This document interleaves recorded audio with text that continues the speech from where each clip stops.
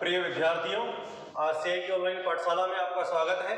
अब हम हरात्मक श्रेणी पर बेस्ड क्वेश्चंस को सोल्व करेंगे। तो देखिए, इसी श्रृंखला में हम क्वेश्चन लेते हैं। और क्वेश्चन है, यदि ए बी सी डी हरात्मक श्रेणी में है तब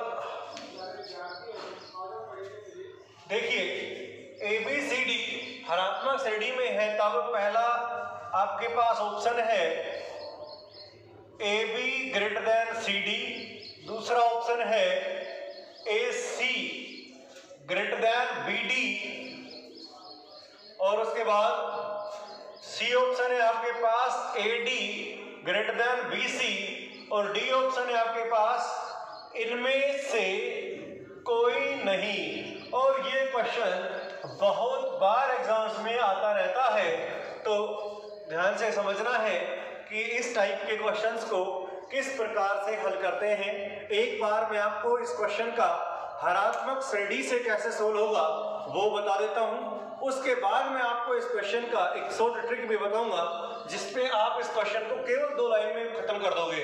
तो देखिएगा, ध्यान देना है ए बी किसमें है?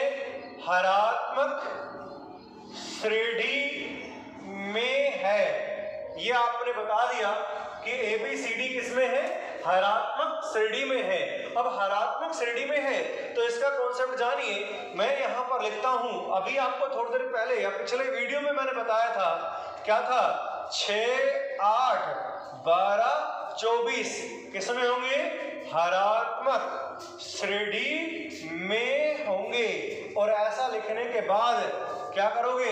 ए इक्वल टू सिक्स पहला पहले के बराबर, और दूसरा दूसरे के बराबर, और तीसरा तीसरे के बराबर, ऐसे ही चौथा चौथे के बराबर।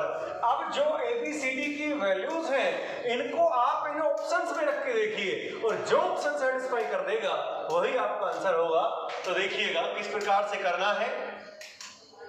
पहला ऑप्शन क्या है? ए बी ग्रेटर देन का सी डी ये ऑप्शन है तो ए का वैल्यू क्या है? सिक्स बी का वैल्यू क्या है? एट ग्रेटर देन सी का वैल्यू क्या है? ट्वेल्व और इसका वैल्यू क्या है? ट्वेंटी फोर आप इसे सोल्व करिए। क्या आएगा? सिक्स एट का फोर्टी एट और उसके बाद आप इसे करो आठ और ये। अब देखो 48 ग्रेड बड़ा है या two two eight two eight eight बड़ा है।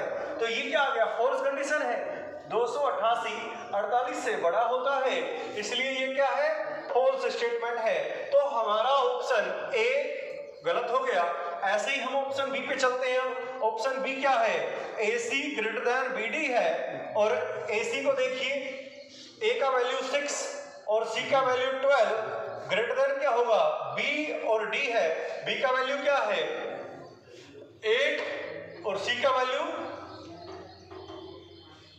डी का वैल्यू ये आ गया ट्वेंटी फोर तो आप इसे क्या करोगे? देखो, आपने ए का वैल्यू रखा सिक्स सी का वैल्यू रखा ट्वेल्व ग्रेटर देन ये आ गया. अब ये कितना होता है?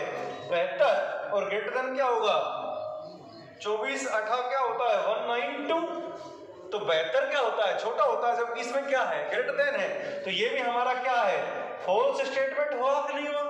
ये भी फॉल्स हो गया। और उसके बाद आप देखिए, आप सी ऑप्शन पे जाइए आप सीधे।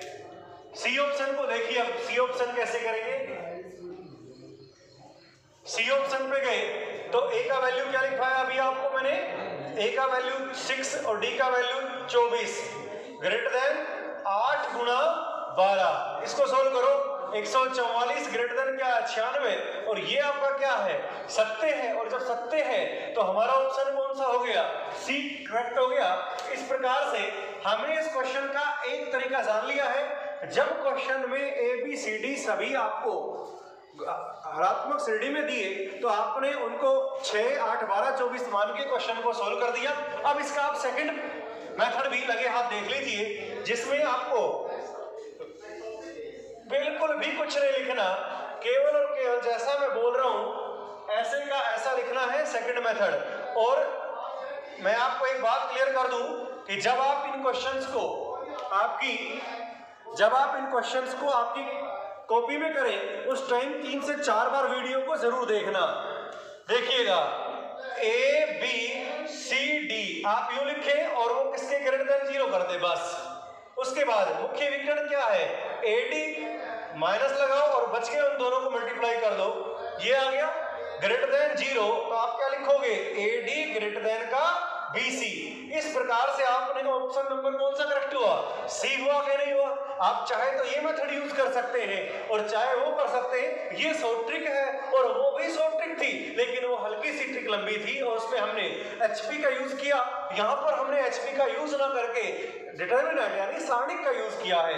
तो आप ऐसा भी कर सकते हो, केवल और केवल जो मुख्य विकर्ण है उनको मल्टीप्लाई करके माइनस और बच गए उनको मल्टीप्लाई करके ज़ीरो से ग्रेटर देन दिखा दो और आप इसे पक्षांतर करके सोल्व कर दो। इस प्रकार से आपने ऑप्शन नंबर सी कर दिया। है और ये क्वेश्चन भी आपका हो चुका है।